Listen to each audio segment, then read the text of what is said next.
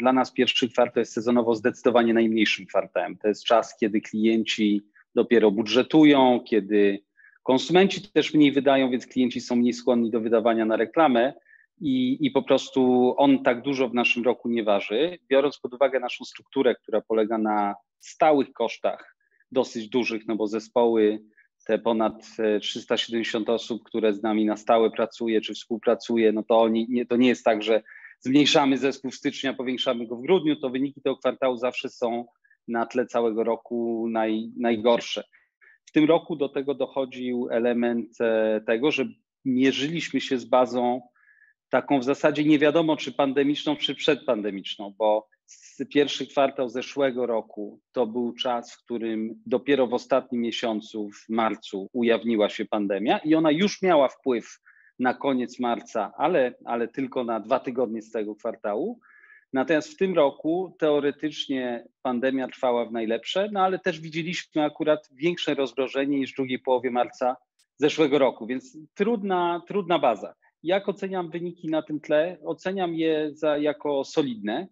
Nie były spektakularne, ale, ale myślę, że to co, to, co cieszy, to, że udało nam się wrócić do wzrostów i to pierwszy raz od bodajże czterech kwartałów mamy wzrost kwartał do kwartału, pomimo tego, że mierzymy się z tą bazą taką przedpandemiczną, nazwijmy to.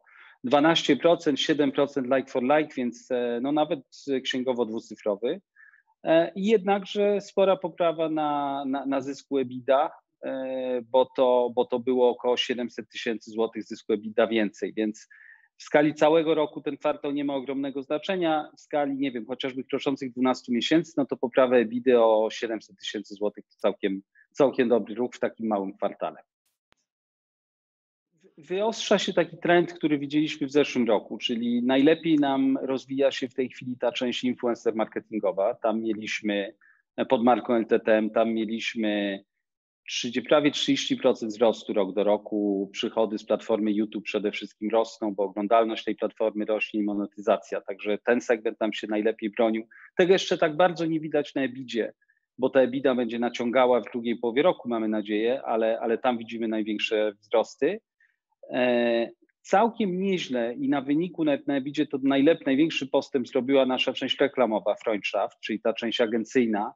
E, tam co prawda przychody zmalały o, o 10% rok do roku, ale wolumeny pierwszej marży nie spadły i po prostu struktura biznesu była trochę inna. Nie robimy dalej eventów, które są niskomarżowe, robimy za to takie no, pracę konsultingową, która jest wyżej marżowa więc na tych niższych przychodach udało się wygenerować lepszy, lepszy biznes.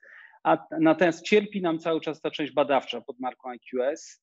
Tam po prostu cały czas klienci wydają mniej na badania i uważamy, że ten trend się jeszcze utrzyma zapewne przez chwilę, natomiast mamy nadzieję na popandemiczną premię. No to jest taka logika jest, ludzie nie badają pacjenta w trakcie, kiedy jest chory na jakąś istotną chorobę, a tak nazwijmy konsumentów i pacjentów, to taka metafora. Natomiast wierzymy, że jak się pandemia troszkę skończy, mam nadzieję, trzeci kwartał tego roku, no to będzie, ruszy z kolei, ruszą, ruszą potrzeby badawcze zrozumienia sytuacji konsumenckiej po pandemii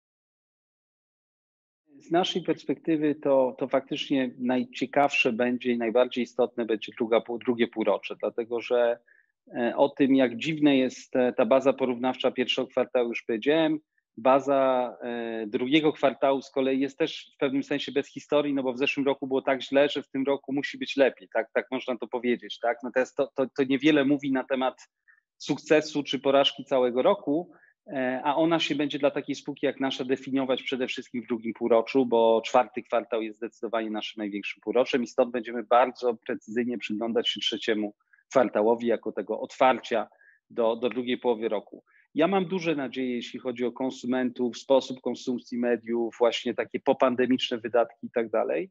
Jedyne w tej, e, powiedziałbym, w tym optymizmie, co mnie niepokoi, to jest, e, to jest Polski Ład dlatego że te zmiany, które tam rząd proponuje, będą dla takich spółek jak nasza, zatrudniających wysokiej klasy specjalistów, na pewno trudniejsze. No i dla części konsumentów też mogą spowodować, u, u, u tych konsumentów jakby z, z niższymi zarobkami mogą spowodować jakąś wzmożoną chęć natomiast do konsumpcji, ale u bardziej zamożnych konsumentów mogą spowodować niepokój i jakieś zahamowanie. No trudno powiedzieć, słyszymy różne wersje o Polskim Ładzie, czy on będzie wchodził w wakacje, czy później, czy to jest dopiero balon próbny i tak dalej, ale powiedziałbym po stronie pozytywów niewątpliwie widzimy odbicie gospodarcze, na które się bardzo nastawiamy, po stronie niewiadomych widzimy, widzimy Polski Ład, tak patrzymy na tą, na, na tą drugą część roku.